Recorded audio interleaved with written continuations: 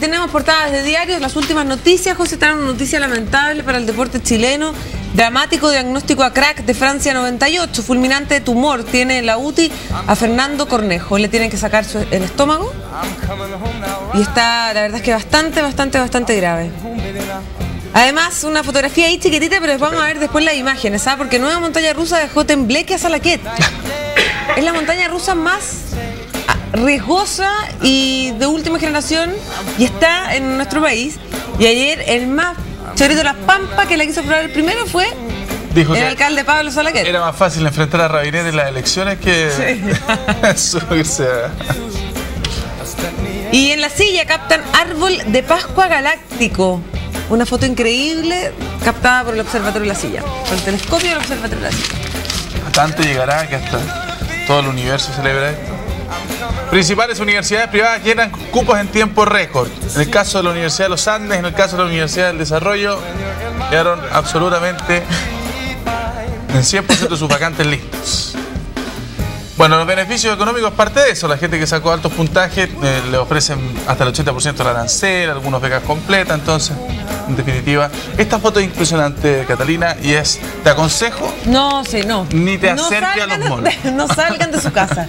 no, ayer, no vaya al centro Ayer tuve obligatoriamente que ir al mall. Claro.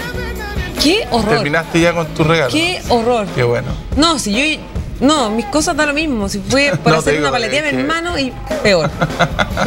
es que es, tremendo, ¿eh? Bueno, esto es una muy buena noticia para el deporte. La presidenta el próximo año parece que va a recibir el mismo premio. Mire, le dio la NFP. El gobierno invertirá 200 millones de dólares en estadios y gimnasios del país. Para el año 2009 es una histórica inversión en infraestructura deportiva que va a beneficiar en 19 eh, estadios que incluirá la creación de modernos centros de alto rendimiento y complejos deportivos en 28 ciudades del país. Muy bueno. Habla también de Díaz de Valdés y otras actrices que enfrentan difícil panorama laboral. Estados Unidos frente a Insulsa, es un cargo de tiempo completo. Y mira esta noticia, grafitero que rayó el muro incaico es detenido con 12 kilos de cocaína. Ni más ni menos que Eduardo Cadima. Eso trae la tercera. El diario El Mercurio, con la fotografía de esta enorme piedra, parte obra en Pehuenche. A 2.000 metros de altitud, el ministro de Obras Públicas puso una descomunal primera piedra que inicia la pavimentación de 23 kilómetros de la ruta del Paso Pehuenche que comunica la región del Maule con Argentina. qué bueno. Además, asesor de Piñera pide que Van Claveren solo se dedique a alistar la defensa Laya, el subsecretario de Relaciones Exteriores. China copia a Broadway, tendrá 32 teatros para musicales en Beijing. Mira esta noticia, José, el 50% de los niños capitalinos tiene caries a los 4 años.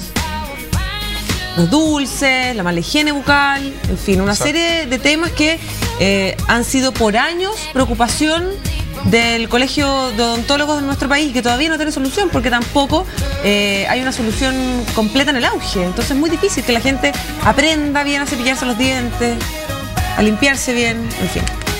Municipios acusan que estatuto docente impide mejorar la educación ante magros resultados de los colegios públicos en la PSU. Construcción pide incentivos en viviendas de clase media para reactivar Empleo sectorial y la tenaz búsqueda de la estrella de Belén. Hoy es Nochebuena, nacimiento de Cristo. Horarios de misas trae hoy día el Mercurio. La iglesia de San Francisco saca un 7 en acústica.